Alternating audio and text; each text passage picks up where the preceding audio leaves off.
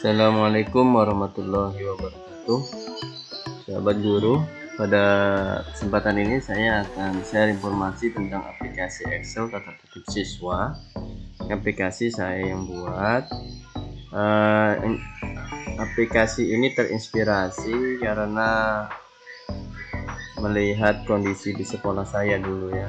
Kalau ada siswa yang melanggar itu Perlakuannya beda-beda ada yang dijemur ada yang dipukul ada yang ditendang dan macam-macam. Nah, melihat kondisi itu beda orang beda perlakuannya padahal kadang-kadang pelanggarannya sama. Nah sehingga pada saat saya diangkat menjadi siswaan saya membuat aplikasi ini.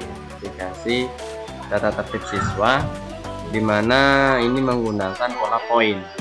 Nah, pola poin yang saya buat di sini di dalam tata krama ini saya masih saya sudah apa namanya buatkan datanya. Pelanggaran ini poinnya sekian dan seterusnya ya. Jadi semua orang harus mengacu kepada tata tertib ini. Nah ini tiap tahun kita update kalau ada penambahan ada perubahan kita update di sini di file excelnya. Coba nanti bisa unduh filenya ini di link deskripsi ya. Di link deskripsi ada filenya yang ini nah ini tentang peraturan-peraturannya nanti bisa disesuaikan di sekolah sobat. Nah kemudian ini ada jenis dan kriteria sanksi berdasarkan poinnya ya. Misalkan ini poin tidak menempatkan kendaraan di tempat yang ditentukan. Itu skornya tiga. Jadi pelanggarannya itu ini kode kode pelanggarannya. Ini sudah saya masukkan jenis pelanggarannya. Kemudian termasuk juga masalah sanksinya ya pelanggaran ringan itu poin 1 sampai 15 itu berikan peringatan lisan dan istighfar kalau saya ya. Kemudian sedang itu peringatan tertulis dan hukuman edukatif. Ini misalkan dia disuruh apa namanya bersih-bersih apa aula atau bersih-bersih ibadah atau bersihkan selapan untuk mengurangi poinnya. ya Nah kalau umpamanya pelanggarannya itu berat itu bisa diskorsing ya bahkan bisa dikembalikan jika memang tidak ada perubahan. Nah ini aturannya seperti ini. Nah untuk mempermudah uh, pendataannya saya buatkan aplikasi Excelnya seperti ini ya. Nah ini ini kode anunya tampilan depannya ya. Ini ada data umum. Data umumnya ini di, diisi di sini ya. Diisi nama wali kelasnya siapa ya kemudian nanti ini ada cover bagian apa namanya cover untuk pelaporan ya. Untuk pelaporan. Kemudian data sekolah tadi ya kemudian ada kriterianya ini. Kriteria ini tadi ya satu titik satu poinnya tiga. Jadi titiknya kita buang ya di sini ya. Langsung 11 11 ini berarti maksudnya satu titik satu yang di sini. Yang di data sini tadi ya. Ini tadi satu titik satu. nah, kemudian ini saya kelupaan di sini ada yang saya buat dalam bentuk bukunya ya dalam bentuk bukunya. Dalam bentuk buku. Jadi bisa juga kalau mau dicetak dalam bentuk buku buku saku atau buku A4 dilipat itu bisa saja ya. Nah, saya lanjutkan dulu di aplikasi yang ini. Nah, ini data ini. Kemudian di bagian bawah saya juga menambahkan ya. Menambahkan ada pengurangan. Pengurangan ini misalkan dia membantu atau melaksanakan kerja bermanfaat itu kalau dia punya poin dia mau bantu kerja bermanfaat saya kurangi 5 kalau dia punya prestasi mengikuti jambore dia punya poin saya kurangi 25 gitu ya. Nah kemudian ini semakin besar ini ada juga yang dia peduli sampah apa. Nah data-data ini saya kurangi. Atau dia melakukan ikut kegiatan one day one juice atau mau membaca Quran satu hari dalam ya saya kurangi 10 poin. Jadi kadang-kadang anak-anak yang punya banyak itu ya suruh haji semacam ya kegiatannya di sini atau dia ikut lomba-lomba untuk mengurangi poin yang ada. Nah, kemudian ini pelanggarannya ini kan ketenangannya 1 sampai sekian tuh baca istighfar ikut pasif ya. Keterangannya kalau dia tidak punya ya saya kategorikan sebagai anak yang berprestasi ya dapat penghargaan. Di sini juga ada contoh sertifikatnya ini data wali kelas untuk yang diupdate. Kemudian data siswa. Nah ini data siswa dimasukkan di sini. Data siswa di sini. Nah semua kelas ya. Nah, ini bagusnya sih dilengkapi ya. Datanya lengkap sama alamatnya. Nah, ini tanggal pelanggaran. Jadi setiap pengisian itu harus dicantumkan tanggalnya. Nah contoh saja ini saya yang nomor 2 ya. Kan hari ini tanggal 4 bulan 2 kita cukup tuliskan 4 garis miring 2 nah seperti ini. Lalu kita enter. Ya, setelah kita tulis nah dia otomatis menjadi tanggal 2 bulan 4 misalkan kode pelanggarannya. Kode pelanggarannya kalau yang belum hafal kita bisa lihat di kriteria. Kriteria misalkan dia di sini melakukan pelanggaran nih. Seragam tidak sesuai dengan ketentuan atau atribut tidak lengkap seperti sandal saat termasuk pakai sandal saat datang ibadah nah ini kodenya 37 kan? 37 maka maka kita tulis 37 nanti dia poinnya ada 3 kita lihat di sini kita masukkan angka 37 nah ini kan dia otomatis muncul angka 3 nah ini ini bisa kita isi maksimal 3 atau mungkin kita bisa juga kasih cuma satu. Karena mungkin uh, apa namanya pelanggarannya itu tidak arah ya nah, misalkan dia pakai atribut cuma atribut anu aja yang tidak ada. Misalkan cuma logo saja. Yang lain-lainnya ada. Boleh aja kita kasih cuma satu di sini ya. Nah, ini maksimalnya. Ini skor yang menurut aturan tapi kita berikan ini.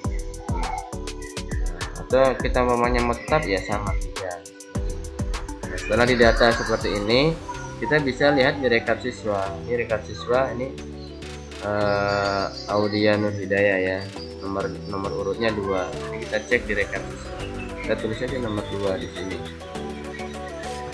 Nah kan dia akan muncul seperti ini. Ini data dia yang tadi kosong-kosong karena tidak dilengkapi ya. Nah kemudian di bagian bawah ini ada keterangan. Tiga itu tingkatnya apa? Oh tingkatnya pelanggaran ringan.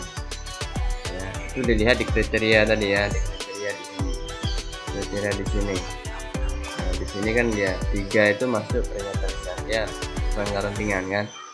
Nah kemudian uh, dia cukup mendapatkan peringatan lisan dan istighfar. Peringatan ditegur aja. Nah ini bisa diganti data-data yang ini sesuai data wali kelas data anaknya wali siswanya.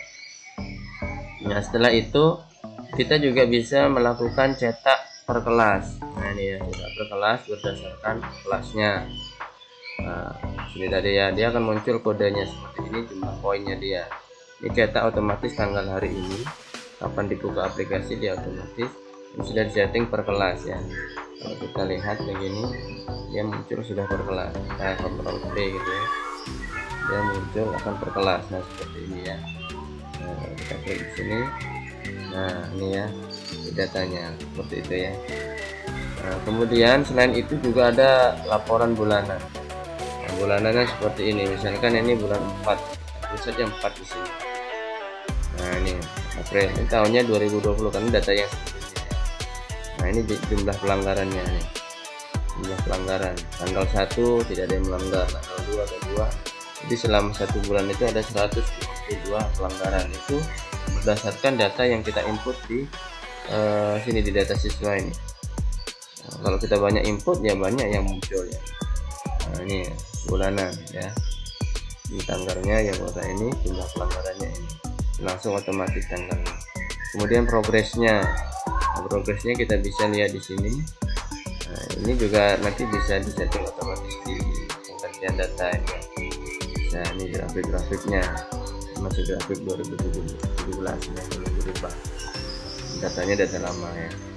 Kalau data baru sudah dipegang oleh BK karena saat itu saya belum punya BK jadi saya sendiri yang bagi kesiswaan ya waktu itu sekarang saya di kurikulum Nah kemudian di laporan umum juga terlihat seperti ini datanya. Yang berprestasi, yang nggak pernah melakukan pelanggaran sudah kurang. Nah, ini tanpa pelanggaran ini, ini berarti ada prestasinya, tidak melanggar dan melakukan hal yang positif ya, tanpa pelanggaran. Nah, ini langsung juga otomatis. Kemudian reshuffle tanggal, ini kita bisa mengetahui untuk mengecek data pelanggaran berdasarkan tanggal. Seperti tadi kan kita tulis tadi tanggal 4 bulan 2 kan. Ada yang melanggar enggak tanggal bulan 4 tanggal 2 ya. Nah ternyata ada satu kan. Ini dia yang melanggar. Ini bisa kita panggil ya. Bisa kita panggil. Yang melanggar di tanggal ini siapa-siapa saja ya. nah, kemudian selain itu eh, rekap berdasarkan tanggal ini berdasarkan pelanggaran. Misalkan tadi kode 37 kan? Kode 37 ini pelanggaran yang ringan berapa orang ini ya? Ini. Oh, ini bukan ini bukan bukan pelanggarannya tapi uh, tingkat pelanggarannya. Siapa saja yang sudah terkena pelanggaran berat dan oh ini mengalami pelanggaran berat.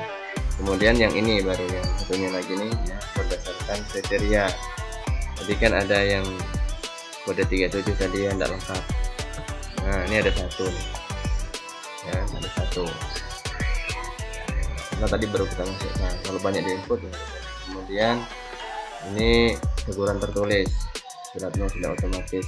Ini tadi ya anak ini ya buat teguran tertulis. nah, nanti juga ada macam-macam teguran-tegurannya di sini macam-macam ya pelanggarannya ya.